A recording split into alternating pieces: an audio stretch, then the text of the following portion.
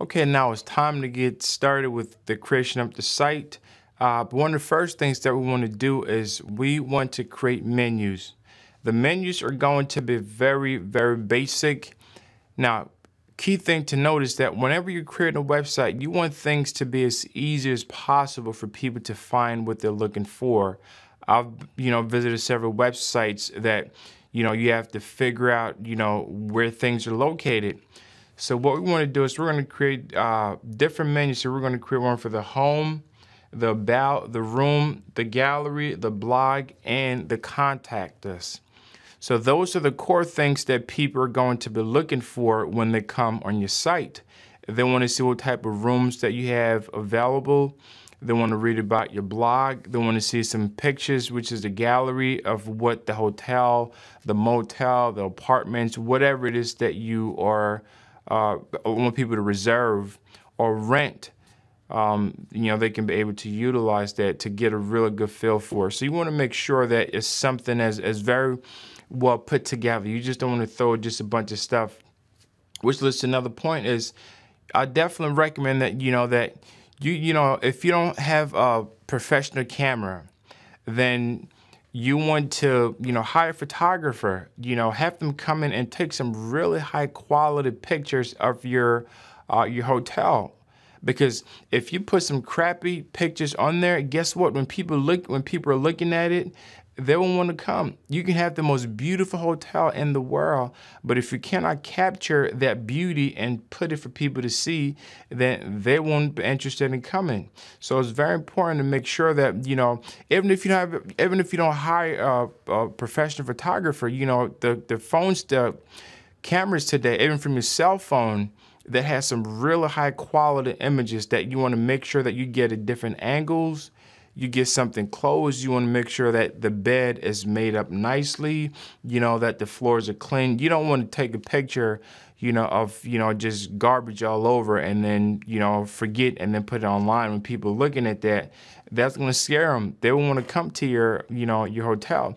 So those are just some little things for you to remember that you want to make sure that you do um, before you really, you know, really start put things together. So now we're going to create, first we have the home menu here. We're going to just create just the bare bones menus. We're not going to um, uh, really have anything up at this point because the site is still just blank. So what we want to do is you want to go back here on the menus and you go to the main menu. So right now we have the discussion when you when we install the Easy Discuss by default, it automatically just and you know just add a menu for you. So let's refresh. Uh, when we refresh this homepage here, you notice that we have a discussions menu. And then once you click on it, it's going to take you to this. This is what the front end, you know, looks like.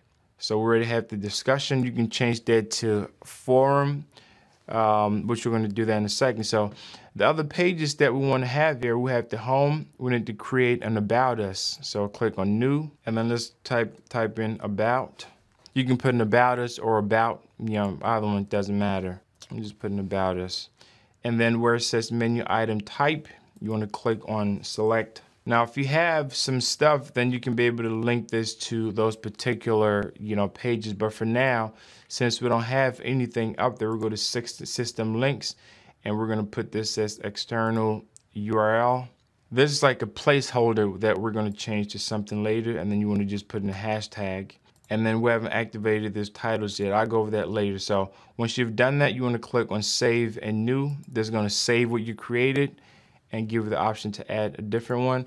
And then want to click on rooms and then let's go over to the menu item type. So from the menu item type here, you want to just go to the same thing, the system links. You want to click on external and we're going to use this uh, format here and you want to put in the hashtag and let's click on save and new.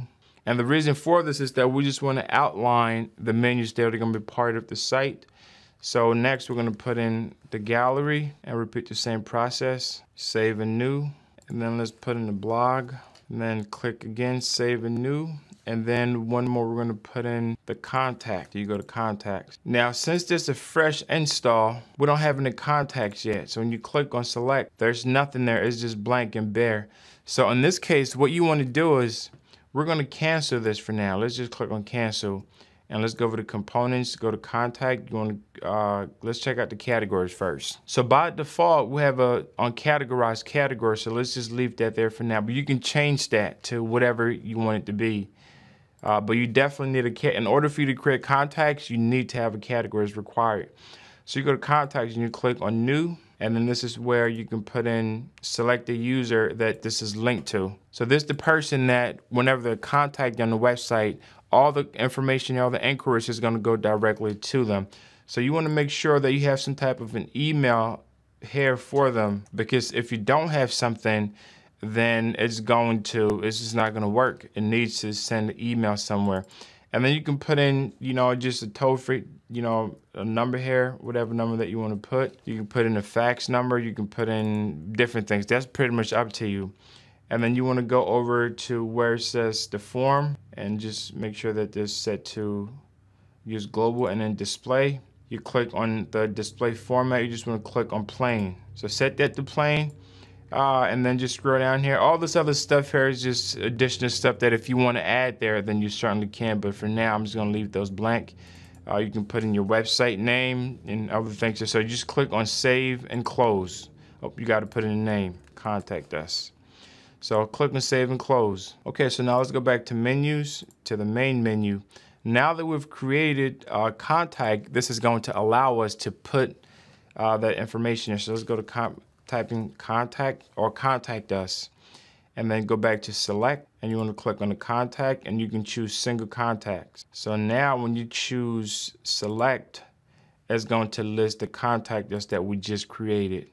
So all the emails are going to be directed to this person. And if you have, if you can create multiple contacts, so you have different departments, different people, you can definitely use that same process and create multiple categories or multiple contacts with different people. So uh, if you want to create someone for your manager, for, you know, applications, for sales, for whatever it is, so they can contact those departments and then you want to click on save and close. And then we're just going to change this discussions. We're going to change that menu to forum. So click on that and just change it to forums. You can leave that as it is or you can keep, you know, you can change it. So let's change that. Okay, so now we're going to go back on the front end and see what we've got. So now we're at the front end of the site. We have the home, forms, about us, rooms, gallery, block, and contact. You know, for most websites, these are core pages that you definitely need to have, especially for a hotel website.